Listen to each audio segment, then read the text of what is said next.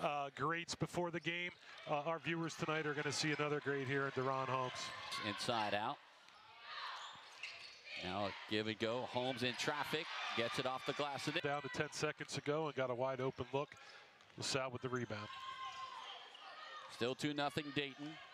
Zan with the mid-range jumper evens it up. You know, both both possessions, Kale, LaSalle is showing how they're going to play the, the pick the swing the dice. You want to pick your poison, but Dayton third in the nation. Santos. And they get, it says six on the shot clock. He hesitates, drives and kicks to Brantley. Brantley gets room, takes the three, pow! Welcome sign for Brantley because he's not been shooting the ball great from the three-point line. Brickus, a fadeaway baseline jumper, and the difficult it is shooting in this Tom Gola arena in January. They fire one in. Vahlberg Fasasi. Brantley finds Vahlberg Fasasi in the corner for three, and he knocks it down.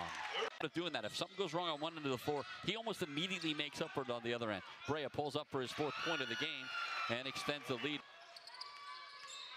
Keeps the dribble, tries to find his way in, in a little bit of trouble, has a baseline cutter, and a nice soft finish by Nwokeji. Santos. Bennett.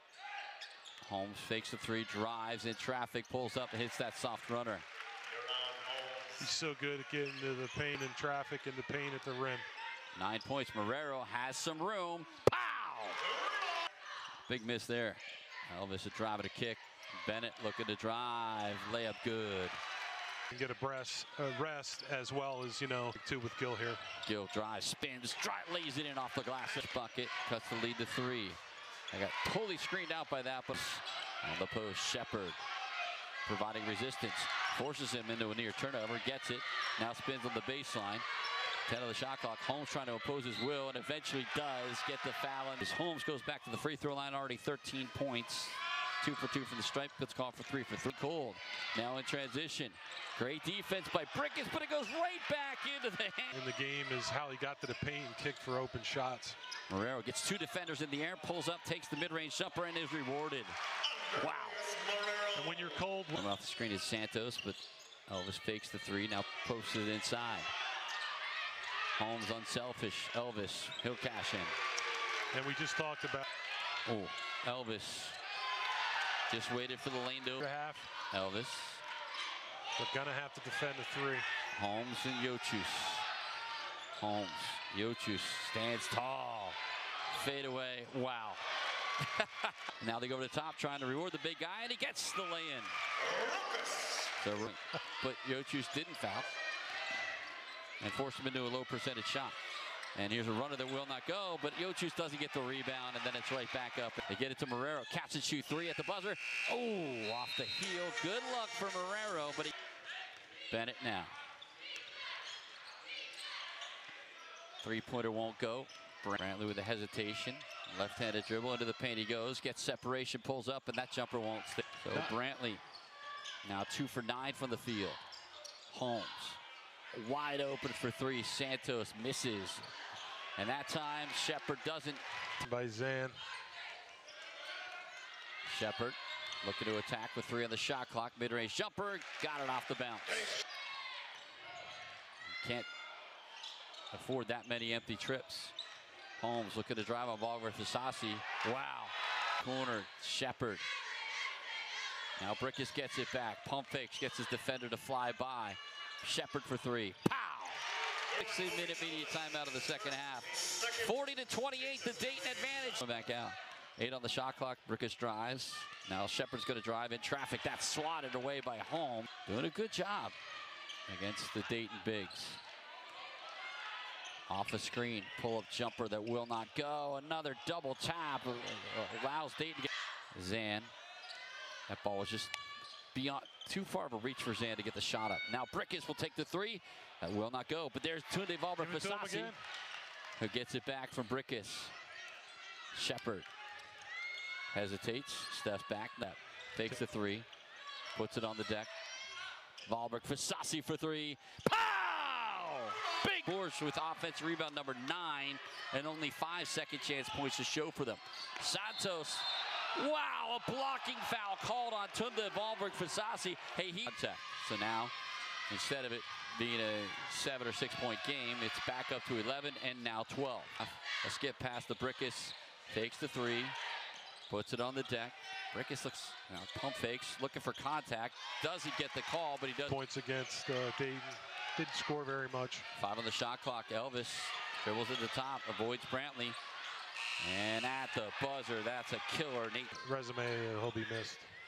So the Explorers had cut this to a single digit game. Marrero will try to do it again, and pow! He does. So it's a 10 point lead. My math has never been my strength. Here's Jocius for the lay in, and now it is an eight point game. Marrero had everybody frozen with the deep threat. Team fires it up to Jocius. Jocius finds Brantley. Brantley in the corner. Gill's first action of the second half. He's going to drive, lay it in, and one. He's back, baby. You'll see here, swings the ball. Gill takes two hard dribbles, and then when he hits the floor, gets up and smiles. Trying to get points out of it. Eight to go. Six on the shot clock. Brickus pulls up. Baseline jumper good. Jhamir Brickus is the single digits. They only gave him two on that make. So it wasn't my math after all. Look for the pick, pick and roll here. Oh, big three. Foul shot, one of the best. Inbounds the Brickus for three. Pow! Again, you got Holmes, Holmes. Holmes inside, surrounded by three shooters. Bennett does it again. Wow. Holmes fakes the three, looks to drive on Jocius, misses, loses the handle briefly. Now forces the big man in, drop step, layup good. DaRon Holmes and We'll see. Drop step by Holmes. Just has its way with discarded by Gill. Gill forces him wide, hits the break in traffic. and No good. Rebound Shepard. And Get the ball in the Killer Bees' hands. Let them attack, create shots. Gill. Marrero for three. Pow! On Moses Malone, Cheeks, Antonio. Brea with a gr- great drive and an even better flush back up to nine for the Flyers. Gill. Brantley. Crossover in traffic. Hangs in the air. That's classic Khalil Brandt. Good switch off by Gill into Holmes. Might want to double that, and Gill does. They do. Now back out to Bennett for three. And he does it again. Holmes. Gill's going to attack Holmes. And Holmes is up to the challenge. Throws it and it's a turnover. Shepard's going to accelerate, goes and misses the dunk because he's fouled. Five points so far today. He has two shots here. 71%. It's like he landed Yeah. awkwardly to, to jump. Yeah. Holmes now trying to back in Shepard. Help comes fadeaway jumper. It's an air ball, but right into the hands of Santos up it. Brickus drive a kick. Now Marrero catches shoot three. Pow! Knock Bennett himself. Solid at 82.